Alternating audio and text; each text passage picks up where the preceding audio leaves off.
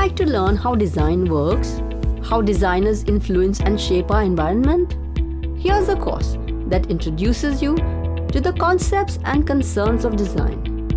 Here's an opportunity to learn from experts from various disciplines of design.